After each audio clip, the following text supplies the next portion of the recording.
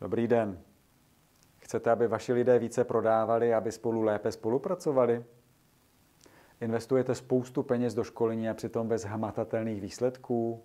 Hledáte způsob, jak nastavit systém vašeho firmního vzdělávání tak, aby podporoval vaše lidi v dosahování firmních cílů a přitom, aby měl dostatečnou návratnost té finanční investice? Jmenuji se Martin Bednář a ve firmním vzdělávání pracuji už přes 10 let.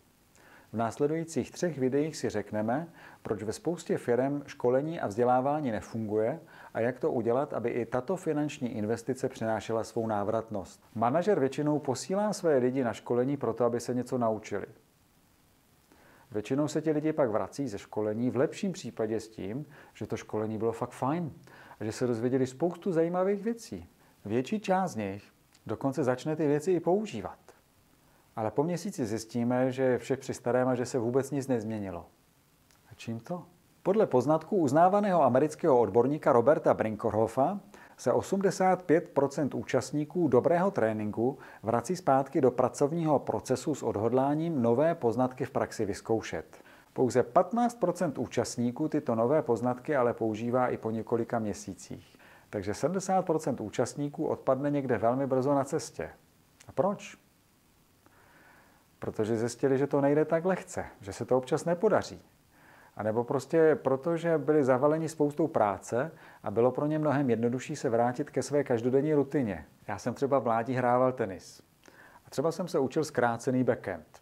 Tak jsem se to nejdřív naučil na zdi, což je takový ekvivalent školení. A když jsem se to naučil na té zdi, tak jsem měl pocit, že už to fakt umím. Ale pak jsem přišel na kurt a zjistil jsem, že mi ty míčky padají, anebo že mi lítají někam do sítě.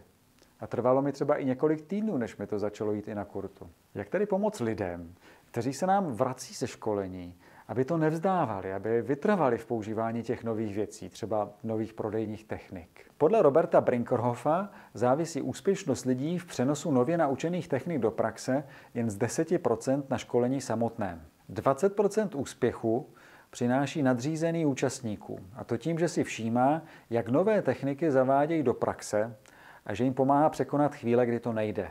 Obrazně řečeno, když míčky hráči padají, tak je důležité, aby trenér hráče podpořil a ukázal mu, jak na to. A celých 70% úspěchu závisí na člověku samotném a na tom, jak pracuje sám na sobě. A nefunguje jenom čekat, že bude pracovat na sobě sám od sebe. Jako nadřízený musím dát svému podřízenému takové úkoly, aby při jejich plnění mohl začít používat i nové techniky.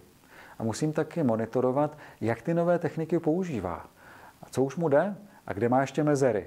To mi jako nadřízenému zajistí, že se lidé po školení posunou, že se zvedne jejich výkon a že se mi to školení jako investice vyplatí. V dalších dvou videích si řekneme, jak nadefinovat, co konkrétně se potřebují mý lidé naučit pro to, aby mohli dosahovat svých cílů. Pokud se chcete dozvědět víc, jak využít vzdělávání ve vaší firmě pro to, abyste dosahovali vašich klíčových cílů, tak mi zanechte kontakt.